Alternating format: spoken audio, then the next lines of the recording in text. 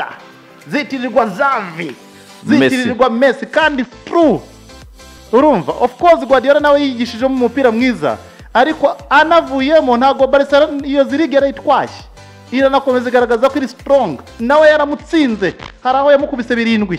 Eh, adakandagira aho ba messi baramugaraguye. Ari muri Cyane. so agomba gupuruvinga yuko zirige atayitwaye kubera barisa gusa. Agomba gupuruvinga ko ari umutoza ukomeye.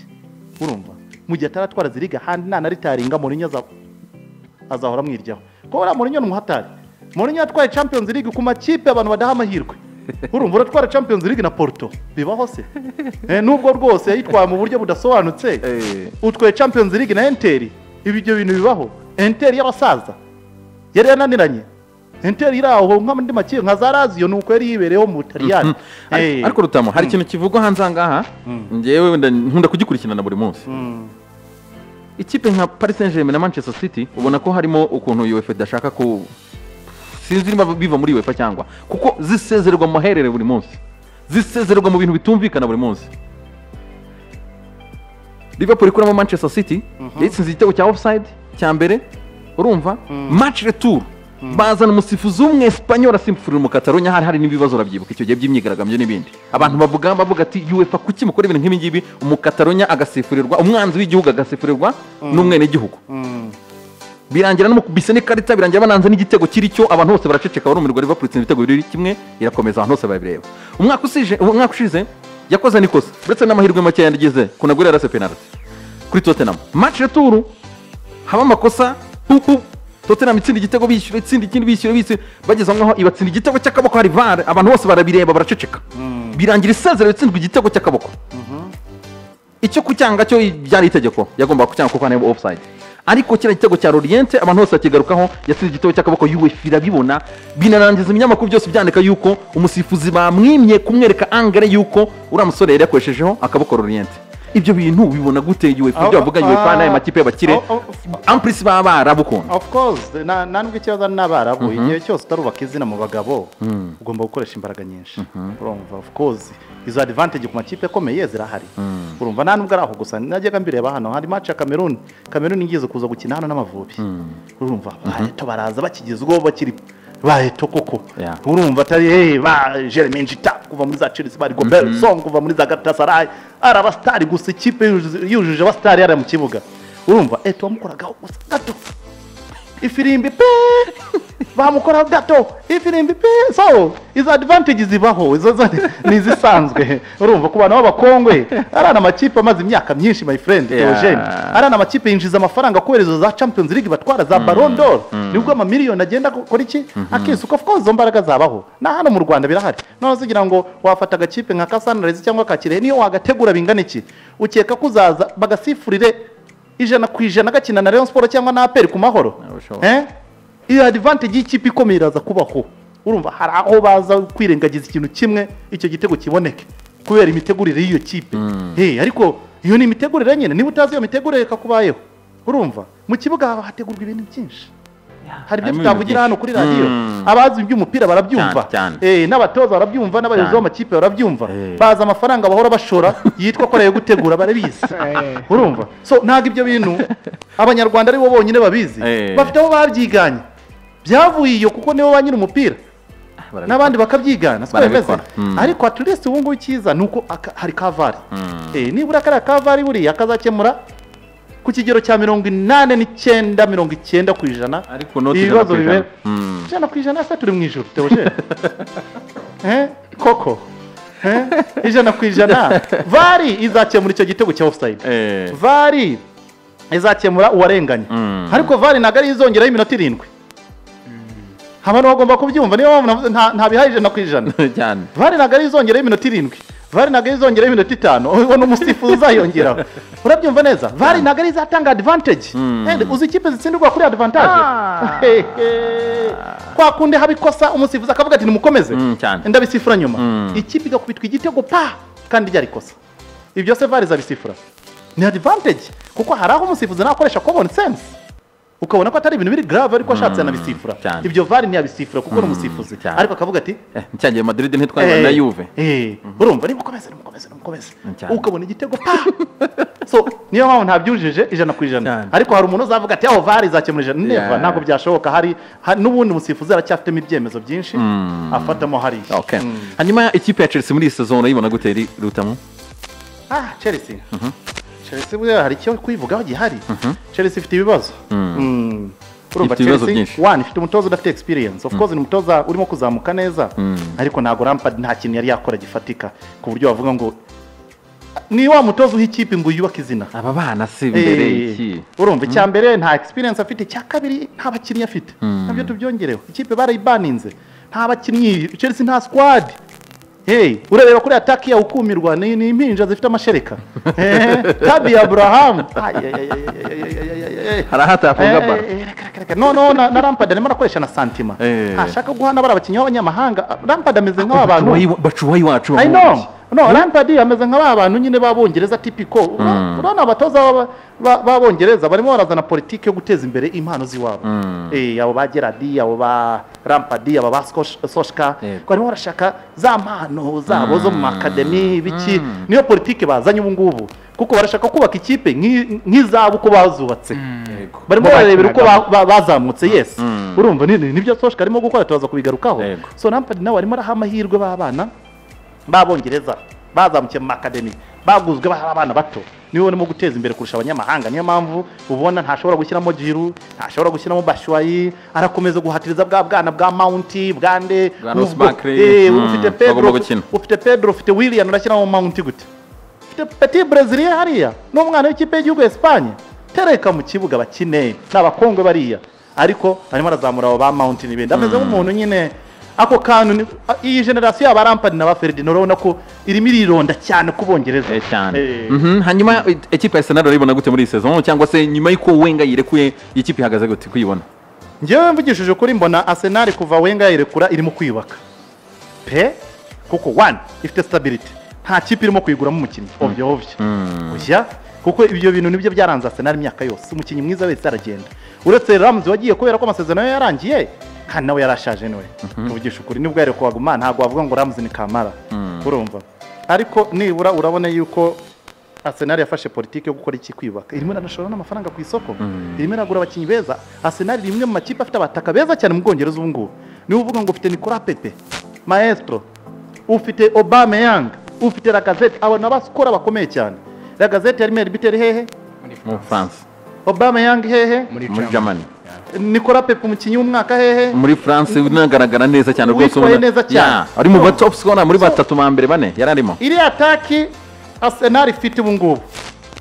Niyo wa- wayishyize ku murongo wa Man City. Nona bakayiminaremo imipira iriya mediane Man City. Mm. batsinda n'ibitego byinshi kurusha na bagwera ndakubwiza ukuri. Arsenal ifite ataki nziza kurusha Man City. Trust me. Man City ifite mediane nziza. Arsenal nta mediane igira. Ariko kuri attack Arsenal ifite atake nziza. Agwero ni umwataka nemera urabizi. Kuramo Aguero tereka hanze. Kuramo Sterling tereka hanze. Fata Pepe Aubameyang Lacazette bafite biriya bifaru biri hari hagati inyuma babiminira imipira. Batsinda ibitego bita bose barangiza bafite ibitego mirongo itatu mirongo ine. rutamura akabya. Ah, oya. urashimisha ukuri, ugushimisha. Reka, reka, reka. Arsenal ifite ubusatirizi bwiza ahubwo ejo bundi ejo bundi sky niba wibuka iyi weekend yavanze amakipe amakipe yombi. Bararebye babona ko arsenal ntaho yakina muri tottenham. How? Banavuze ati weng misan harry kane na christian eriksen niwe wateretse imbere hariya ntabwo arsenal yajya. Weng misan ntabwo yarisha benshi na niyo Aubameyang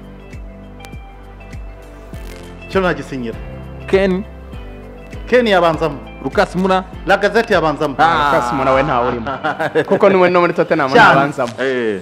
keni na la gazette bahanganira umwanya. Ariko Ken of course nataka international. Mm.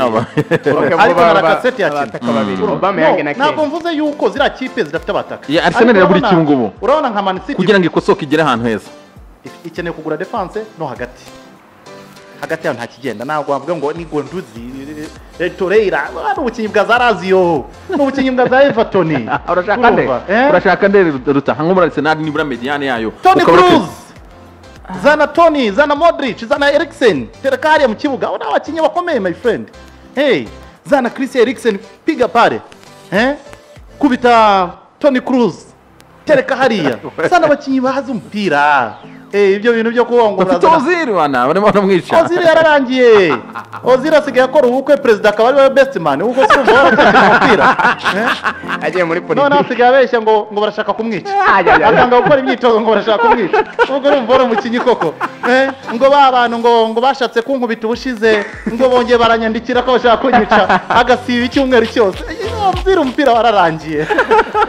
Oziri yabaye umupolitisiye Eh, oziri yageze mu bikomangoma iby'umupira yarabiretse. Yirirwa aganira na perezida turukiya uwo muntu yagezeho kuri urwo rwego biba byarangiye. Arimo arishakira ba misi Eh, hari abakinnyi hari rero abakinnyi bageraho bakiveteza ubwabo. Na oziri rwose ubona ko icyubahiro cyaramurangije. Urumva amafaranga arayafite noneho yazamuye n'urwego ruriho yari reka mbivuge gutyo. Yabaye umwana w'umuherwe. Eh, yabivuyemo ibyo ngibyo. Buriya unacunze neza nuko tutabikurikirana wasanga oziri yibereye mu bucuruzi gusa. Yibereye muri bizinesi ari byo ashyiramo imbaraga cyane. Ariko twebwe ntitubimenya ariko mu ikipe buriya nka arsenal barabizi. Eh, ntabwo benshi batabizi. Ya, for sure, Harimo ntago akantu. ntago n'ubundi n- ibyo rutema avuga abantu benshi barabivuga ari distracted ukuntu. Ntago nta urebye ari mu bintu bya politike aravuga ibyo bafitanye ibibazo n'abadage bya- by'aho yakomotse muri taki yibereye kumwe na perezida ari mu makwe na perezida kandi wa mugani ntimwakwicarana na perezida mukina igisoro Eh. Oya, ntimwakwicarana na perezida mukina igisoro utanagamo akantu k'amafaranga. umutoza wajya kumubwira ngo ngo ziri zamuka garuka inyuma zamuka." navuganaga na perezida saa yine basangira icyayi urimo uramutegeka ngo zamuka ajya gukaba garuka. Aziri abikora ibyo ngibyo. Arihagarara mu kibuga nushaka umwicaze he doesn't care. Hanyuma reka tuzamuke finally manchester united kabisa. Impinduka mo ziragenda zigaragara Bi- bakubuye burundu bakubuye smalling bakubuye mateo damian bakubuye sanchez abakinnyi bose matici benshi ibintu byose byahindutse ba rukaku bagiye ibintu byose byahindutse. Man united iri kwibona gute nyuma y'izi mpinduka iri kugenda ikora? Mani rero uwampa bagakomeza bagakubura ubundi warangiza ukanakubura rasoshka ukazanamo uruzina nk'uruntu nka- anceloti ukaruterekamo hariya ikipe yose bayikubuye ubundi ukaruha amafaranga rukakuzanira abasitari mani yazuka. Eh. kuko n'ubu ntabwo ndemera neza soshka. Gusa ibi nakoze ni byo. Nta bundi buryo mani yori kuyubaka. Ni ukubanza ukirukana barimo. Yes. Buriya bararebye nta wundi mutoza ari kuza akabirukana. Reka bazane umwana w'iwabo. Babanza bamwihanganira bavuga ati wowe wubaka ikipe. Buriya uriya mupeti biragaragara yuko bamaze kumuha go ahead. Nubwo bitavugwa mu bafana. Kuko ibintu ibyemezo arimo guf- gufata na Mourinho ntiyari kubikora. Ni icyemezo gikomeye abakinnyi b'abasiniya my friend. Eh, kapiteni uramwirukanye Eh, Lukaku uramwirukanye wa miliyoni mirongo inani Eh, ubwo defanseri bw'ubuswa bwose nka nka simoringi nta wundi mutoza wabukoragaho ngo ni ubwongereza ni we ubwirukanye Eh, bwari kuramba hariya bukarinda bunapfira hariya ariko arabwirukanye bwose buriya ni ibigaragaza ko harimo umwe ukomeye cyane muri manishi urumva? Ntabwo ari soshwa urimo kubikora. Buriya ni ibyo wumvikanye nka bodi barimo barakubura abantu bose badafite icyo bamaze sanchez toa nubwo tumwishyura menshi irukana. Buriya ari umutoza wundi ntabwo yari kubitinyuka. Urumva? So iyo birangiye biriya rero zana izina ryakurura abo bakinnyi bakomeye.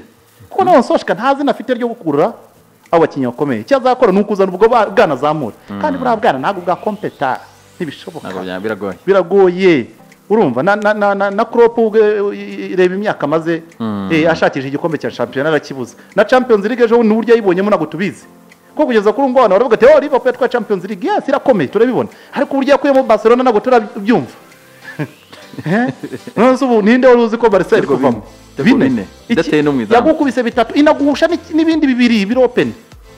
Ariko iby'umupira ni biriya nyine umupira uridunda ikipe itazwi ya kabiri ya Liverpool azarakomeza ariko ntabwo duhakanya ko Liverpool idakomeye. Irakomeye ariko ntabwo yari ikipe yo gukuramo Barca kurishya urumva so nibikwereka ko nawe byamutwaye imyaka ine kujya mu icyo gikombe cya Champions League. Akora iki? Akibona anashoye n'amafaranga Klopp ndibuka tugitangira na hano. Eh, cyane. Ribuka tumuze avuga ngo we ntiyagura abakinnyi ngo b'amamiliyoni ntiyagura cyane yarabivuze. Noneho we nta nubwo ari kugura aragura abadefanseri batazwi amamiliyoni amazamu bakaburekinga amarikodi ya so nawe yisubiyeho agura ibyo. So man u ikintu cya mbere of course bari abakinnyi bose ntibirukane. Ariko on top of that izabasimbuza gute icyo ni cyo kibazo. Uzabasimbuza james?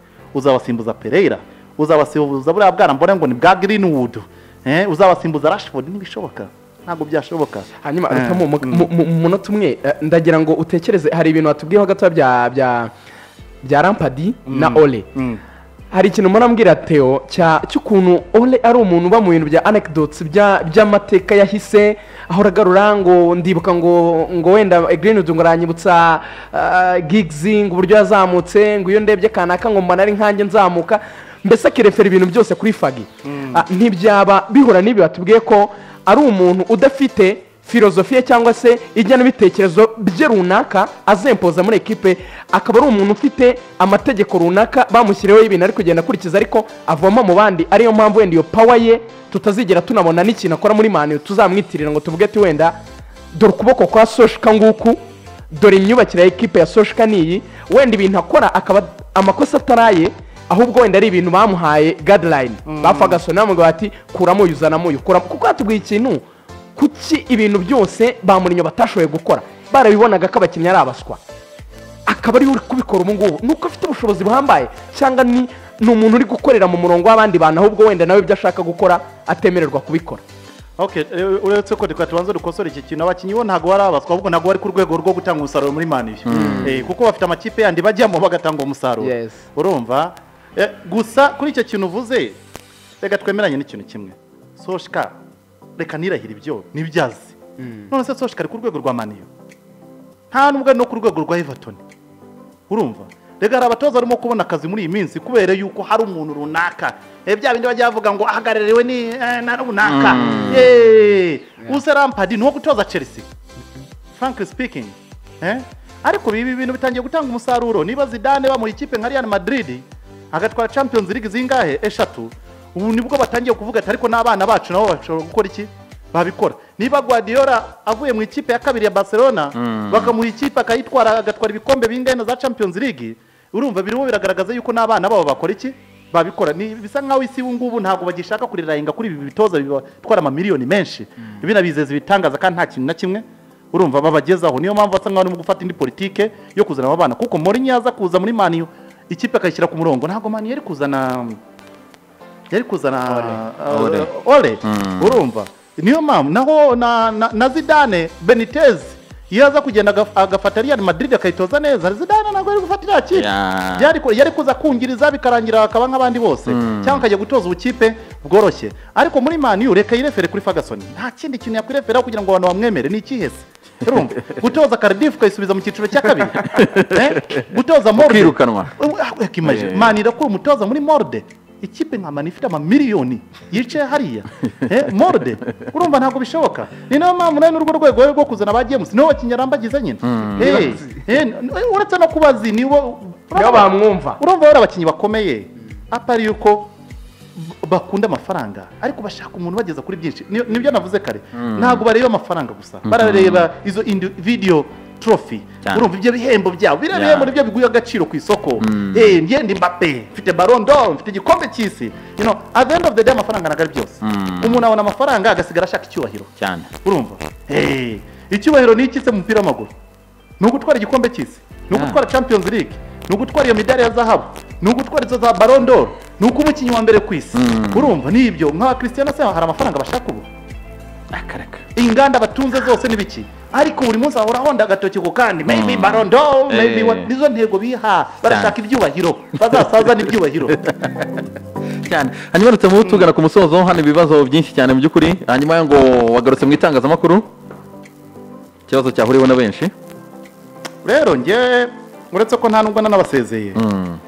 Navuze ko nzasezera ariko no gusezera narasezeye ariko nasezeye mu buryo butari official. Biragoye kugira ngo umuntu w'umunyamakuru azave mu itangazamakuru. Ngende umunyamakuru w'umwuga. Nararyigiye mbifitiye digiri urumva? Kuba- kuba- ni nk'umusirikare. Umuntu iyo iyo abaye umusirikare niyo yavuga ati uyu munsi nyivuyemo. Sitira aba ari umusirikare. Cyane. Baba bavuga ati harya babita gute? N'amadimobe Eh, iyo bafite amaranka babita ba retired Eh, retired kano retired major retired corporal Eh, retired general. So bivuze ko n'ubundi bya- cya gisirikare kira- cyakomeza gukora iki? And any time iyo bibaye ngombwa urongera ukamugarura. Ko ntabwo ubumenyi bwe ntaho bwagiye. Kandi akagaruka akayobora urugamba neza. Siko bimeze? Cyane. So nanjye rero ndi umunyamakuru. Nta hantu na hamwe itangazamakuru rizakora iki? Rizamvamo. Urumva. Kandi ibintu ndimo gukora kenshi urebye ubu ngubu teogene eh, na rigani murabizi bijyanye n'itangazamakuru. Icyo nashatse ngewe ni ukugira ngo mbe ngabanyijeho radiyo njye mu bindi. Ko na byo nabonaga yuko ni firidi dukeneye guteza imbere. Mm. urumva? Kuko ntabwo twakwifungirana mu itangazamakuru hano abakinnyi bacu barabuze uburyo bajya hanze. Barabuze uburyo bajya i burayi. Atari uko batazi umupira ahubwo barabuze abantu babageza hariya. Barabuze abantu babagira inama z'uburyo bagomba kwitwara. Maybe next time tuzatanga inama z'uburyo abakinnyi bagomba kwitwara kugira ngo bagere ku rwego rwo gukina i burayi. Sibyo? Nubwo umuntu abitanga atari ukuvuga ngo akora kuri radiyo ariko ni umusanzu umuntu aba atanga kugira ngo n'aba- n'abana bari hano hanze bakina umupira bamenye uburyo bitwara kugira ngo bazagere kuri urwo rwego. Umva na biriya bihugu abantu bose babikoramo ni abantu ba- bari muri field nk'izacu bazivamo kugira ngo bateze imbere izindi field. So kugeza kuri ubu ngubu mbona itangazamakuru ryarateye imbere. Ariko hari field yindi dukeneye guteza imbere. Niyo mpamvu navuze ni remi ritaya mu itangazamakuru Mm. shaka ibintu. Ariko ibyo bindi ndimo gukora na byo bijyanye n'itangazamakuru. Ejo n'ejo bundi muzanyumva kuri iyi mikoro. Maybe ndimo kwamamaza match runaka. Maybe ndimo kwamamaza eh, umukino w'iteramakofi cyangwa wiki. So still sindi mu itangazamakuru se. Kandi akazi kazakanzanye hano kazaba itangazamakuru. Eh urumva. Gusa kuri mikoro you never know. Eh ni byo ni byo njya mvuga ni burya at the end of the day kuri iyi si icyo dukorera n'abafana.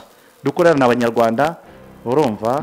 Eh agafaranga gahari why not? Nakwicara kuri iyi mikoro na Theogene na Regan ubuzima bugakomeza. Eh? Eh so ntabwo itangazamakuru mbivuze mu magambo meza ntabwo nigeze ndivamo mu buryo bufatika. Kuko n'ubundi riracyari ku mugongo wanjye Okay. Eh. abandi bahuriye ku kibazo ngo wazanye umuryango wawe hano mu rwanda burundu? Ibyo biri bya bibazo byitwa private. Eh, ntabwo bisubiza. Ah, ah.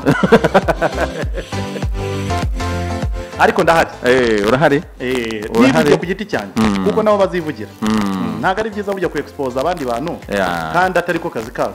Eh, niba bishaka bazabyivugira but not me. Akazi ngo uri kugakorera mu rwanda ubu?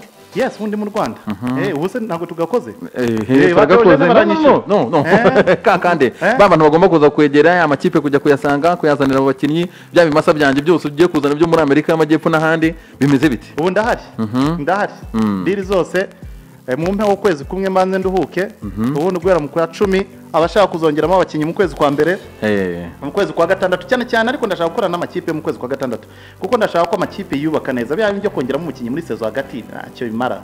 Eh, ngomba kukuzanira abakinnyi kabisa ukabona ko ari abakinnyi beza. Abashaka kwiyubaka neza shampiyona nizirangira umwaka utaha nyaka birangira mu kwa gatanu eh, shampiyona. Mm, kuko bagomba kubihindura. Sinabonye kafu amarushanwa yatangira mu kwa kari mu kwa munane yeah. yes shampiyona yo mu rwanda hakenewe kuyihindura niba batayihindura n'ubundi za rayon siporo n'izindi zizahura n'ibibazo by'ibyangombwa. Mm. kuko biragoye kuvuga ngo uzatanga lisiti muri kafu mu gihe shampiyona itararangira.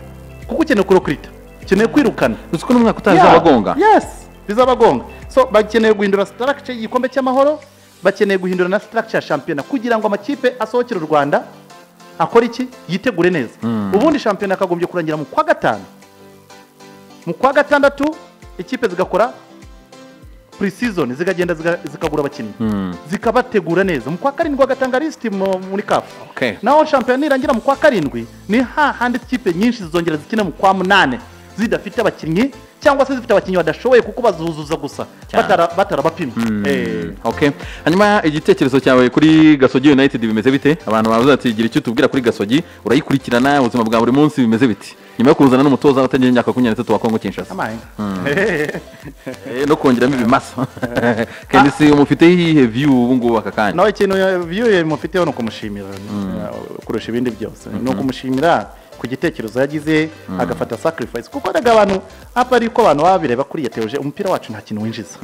Eh, ni umuntu ni urukundo rw'umupira urumva? Ni umuntu kuvuga ati okay ngewe nkunda umupira nkunda gufasha abantu. Buriya kenshi ameze nk'umuntu waje kwifashiriza abantu. Nubwo byita business ariko biracyagoye kugira ngo umupira wo mu rwanda ube business.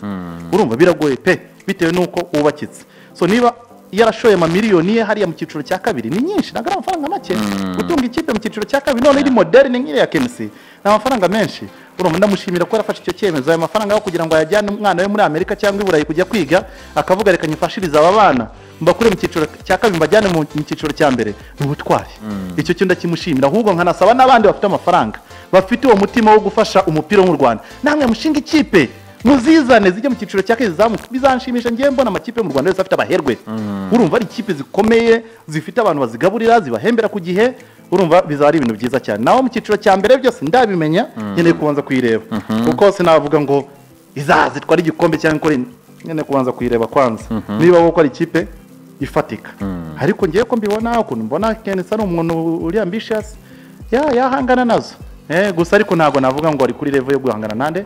Na aperi na, na Rayon Sport mamenye yuko yenza mu makuru make maze gukurura hano hanze. Mm. yaza ko yarazanye abakinyi uko bakomeye umufana wa Rayon yakaba yarabimbwiye cyangwa APR aperi bose ni inshuti zanjye Mm. eh, ariko kuba nta mufana wa Rayon yari wari wabimbwira no aperi Kenis ubwo akomeze yubaka ikipe ye. Okay. Eh, gusa ni ibintu byiza pe kuba yazamutse kandi nabyishimiye kabisa. Okay. Eh, nkaba contact yageze hehe ngo muri muri muri management muri yo agency company whatever mu rwanda ubu ngubu kontakiti zo kuzana abakinnyi cyangwa muri kampani eh, kuzana abakinnyi cyangwa hanze y'u Rwanda hirya no hino. netiwakingi yose ndayifite mu ntoki zanjye. Ubu igisigaye ni ukugira ngo setoringe na kampani n'ibindi ubwo abantu bagomba kubimfashamo neza. Abatekinisiye b'abahanga ubwo babimfashemo. Ubundi akazi gatangire. Eh, hari n'aho tugomba kujyana vuba cyane. Eh, abakinnyi benshi bazajya i burayi mu rwanda amaze kubona abakinnyi nka batatu bahita bajya muri shampiyona nk'iyo norvege Eh, shampiyona mu cyiciro cya mbere muri sweden denmark. Bakinayo kabisa. Kandi bakaba titirere ibintu bikagenda neza cyane. Kuko harimo abakinnyi bamwe maze kubona bakiri bato. Very young ikindi bakaze cyane. Sinavuga amazina yabo kugira ngo batabongera amasezerano. Eh, eh, bakanabazamuriraho na n'aka gaciro. Bakabahanika nka ba neymar. Eh, ibibazo ubona uzahura na byo hano mu Rwanda ni ibi nk'ibihe ubona ufite impungenge cyangwa ikintu ufite impungenge wabwira nk'abanyarwanda kanya impungenge ya mbere ngewe mfite ni uko abakinnyi benshi mu rwanda imyitozo bafite ni mikeya. Mm, kugira ngo umuntu abajyane hanze. Yeah. bakeneye kongera imyitozo. Bakeneye kongera imyitozo. Of course ntabwo wakora imyitozo utarya. Eh, burya imyitozo ijyana n'imere bakeneye kongera imyitozo bagakora imyitozo ari personal. Ntabwo ari ngombwa kuko amakipe yabo ntabwo ibyo bintu yahita bikora. So abakinnyi ubwabo bikoreshe nk'abashaka kujya i burayi cyangwa gukina amashampiyona akomeye. Ikindi nanone ntibifuza amafaranga menshi. Eh, urumva ba- batangira gukorera make make ariko afite intego yo kugera kure. Kuko nugera kure amafaranga azakwizanira. Eh, ntabwo ari we uzakora iki? Ntazumve ngo ah siriya kipe ko ihemba make kandi hari ikipe mu karere ihemba menshi. No just go there. Ushobora kwigaragaza ukabona ejo bundi uguye muri shampiyona y'ubufaransa. Eh, kandi iryo faranga nuko ukariyora. Eh, ntibarebe amafaranga cyane barebe kariya zabo. Eh, hanyuma rutamo dugana ku musozo ikintu ufite ku mutima aka kanya watubwira. Reka turabona twananzije n'iminota myinshi twabonye n'umwanya wo kuvugana n'abantu wenda tuzagira n'umwanya wo gukurikira hano mu rwanda. Tugafata umwanya wo kongera kuzaganira. Tunagaruka hano tunaganira n'abafana ka meme ya ah ndishimye ndishimye ah, kuba abafana bacu bakidukunda. Ni ibintu byiza cyane. Urumva mukomeze mudukunde mukomeze mudushyigikire mukomeze mushyigikire shampiyona y'u rwanda. Eh, ubu ngubu turashaka kugira ngo duteze imbere iby'iwacu. Nabonye ubu niyo slogan iri hano. So abandi bazateza imbere imyambaro yo mu rwanda bazateza imbere imideli. Twebwe nk'abantu bo mu mupira turashaka guteza imbere soka siporo nanjye ndashaka gushyiraho ibuye ryanjye kuri siporo ku buryo ndashaka ko twiha intego mu myaka itanu iri imbere. Teogene azaba yogeza shampiyona y'u rwanda mu buryo buri professional. Ya byanambabaje cyane numvise yaranabuze n'umuterankunga. Eh. sinzi ahantu basinziriye ku buryo umuterankunga agenda batazanye n'undi. Ariko nimushaka umuterankunga shampiyona igira amafaranga menshi. Ndashaka ko amaradiyo uko n'ubundi twayajyanye i burayi. Ndashaka ko tuzayagarura akogeza shampiyona y'u rwanda kuri structure nziza. Serious? Eh. kandi ni intego tugomba kwiha teogene cyane. Tugomba kuza mu mupira wacu. Niba ikipe nka simba yuzuza stade y'i dar es salaam y'ibihumbi mirongo itandatu ku itike makumyabiri by'ishiringi ya make urabyumvaho iki tugomba kwiga harimo amafaranga cyane urumva izo kipe zidakiza ku buryo zidatera inkunga n'amaradiyo none se ubu ngubu bagukubise miliyoni makumyabiri hano wajya kohereza amani iyo ushaka nahita ngaruka nahita mpindura hariya kabisa ibikoresho nkamanuka none cyane so ni byo rero reka tuyiteze imbere shampiyona yacu igira amafaranga menshi so n'amaradiyo agaruke twikundire iby'iwacu twirwe tureba iby'iwacu kuko at the end of the day abanyamerika banyigishije ikintu kimwe. Ibyabo nibo barabiporomotinga cyane. Ku buryo ibi by'ahandi ntabwo babizi. Bameze nk'abantu bibera mu gihugu cyabo gusa nta nyuma y'imipaka y'igihugu cyabo nta bindi bihari. ntacyo bakeneye. bazi ko muri afurika twebwe tubana ni- n'inyamaswa Eh. kuko bazi ko iyo bagiye kuza muri afurika bababwira ko muzajya kureba kilimanjaro muzajya kureba ingagi mu birunga. Bazi ko muri afurika twebwe twibanira n'izo ngagi. So ariko ibyo byose ni imbaraga za media. Eh, cyane. ni imbaraga z'itangazamakuru. Urumva? Bo Eh. babakundisha ibyabo ku buryo bumva ko nta kindi kintu kiba nta bundi buzima bubaho uretse amerika. Ushobora gusanga mu banyamerika 50 nka nka 70% bashobora kuba batazi niba hari n'ubundi buzima buba hanze y'amerika uretse n'abantu. Niyo mpamvu barakubaza ati from? Rwanda. africa. Ah mbere nawe rwanda. Eh. oh rwanda. Well rwanda? Eh africa. Ah, nahita mubaza none se ni bihe bihugu uzi muri Afrika afurika na na na na ah ndavuga okay so mwamumvuna Eh. ubutaha yambaza ati where you from Africa. Africa. Which country? eh? Where Africa? Eh, Africa. Oh, nice. I hear it's beautiful. So, byose musubije Africa. Eh, Hey. Ambaje tuturuka muri Afrika, uturuka mu kiye gihugu? Africa. Afrika. Arangije ati numva ngo ni byiza. Hey. Kandi bikaba birarangiye. so uwo muntu utari ikinoze. Media yaramwishe Kandi abo Eh. abo ni abantu murimo gukorana. Mm. Ugasanga urimo urakorana n'abantu batarambuka Amerika na rimwe nta na pasiporo bagira. ntacyo bakeneye Eh? hanze byose? Nta kintu reka reka. Nta nubwo bakeneye no gutembera barebe n'izo siteti zindi. Umunyamerika yigishwa yuko ibintu byose bya mbere byose ni ibyabo. Interineti ni nziza ni yabo. Umuhanda mwiza wo ku isi ni uwabo inzu nziza zose ni izabo imodoka nziza zose ni izabo bajya ku cy'iki ku isi y'ikindi. Natwe rero dukeneye kwigisha abantu yuko umupira mwiza uri mu rwanda nibwo ziriya stade zuzuzura. Ariko numubwira ko hari barisa hariya nayireba kuri televiziyo ntabwo azagaruka. Tubetinga ibyacu nabyo banatubwira banadushinja rutamu. Bavuga ati rutamu rugimba n'abandi bakomenteza bose bakundisha umupira abanyarwanda wo hanze. Twakundishije umupira abanyarwanda wo hanze kubera ko umupira wo mu rwanda ntabwo wagurishaga. So ubu ngubu ni twebwe tunagarutse kugira ngo noneho urumva tuwukundishe abanyarwanda. Ariko unagurishe. Njyewe nta kindi nkorera. Ngomba gushimisha abantu ariko nanjye nishyuza amafaranga. None se nzaza gukorera ndi, ndi charity organization. Na- ubwanjye nta mafaranga mfite murashaka ko ntera inkunga yi Eh. Eh, nimumpe amafaranga murebe niba ntaza kugeza Rayon Sport hano. Buri munsi n'imyitozo ye nzayogeza. hanyuma honorable bamporiki eduard ngo aragushyigikiye ku gitekerezo cya aperi ngo ijana ku ijana agushyigikiye kabisa bakoresha abahanga kandi bo hanze. Kandi ngo ayo makipe niba udafite ubushobozi yakabikoze ibyo bintu. Icyo gitekerezo cyawe ngo muri kumwe. Cyane kabisa ndanagusoza cyane. Honorable ndizera ko uri mu bantu bazabimfasha kuko uri mu bantu barimo kudufasha cyane. Gusigasira iki? Umuco wacu. N'indangagaciro so nawe ni homework tuguhaye yo honorable. Bamporiki Edouard. Eh mudufashe mudufashe cyane. Niba koko twese tujya gu- gufatira za masters i burayi n'ahandi why not kuzana n'umukinnyi uturuka iyo ngiyo ufite icyazi kudufasha hano mu rwanda? Duhambiyanse reka at the end of the day oje tuba tugura abafana. Umupira nta kindi kintu tuwukuramo. Tuwukuramo ibyishimo. None se uratwima ibyishimo hejuru y'iki n'amafaranga ubu se aperi ivuze ngo abafana nimwigurire umunyamahanga munamwihembere. Uzabashimisha bananirwa kumwihembera uzaza niba hariya agafata kiyovu agatereka hasi agafata esi kigali agakubita hasi rero siporo ikabona gusa abantu barimo baranyura hejuru. Urumva? Hano hari abakire bangahe bafana aperi benshi. Eh? benshi nibo basaba abakinnyi batanu batandatu babagura bakanabahemba umwaka wose. ba Iki nta n'ikibazo ba fande bo muri aperi nimuha abanyarwanda ibyishimo. Nimubazanire moteri hariya wantu Eh, twishime tugurishe. Amasaha yageze twarengejeho n'iminota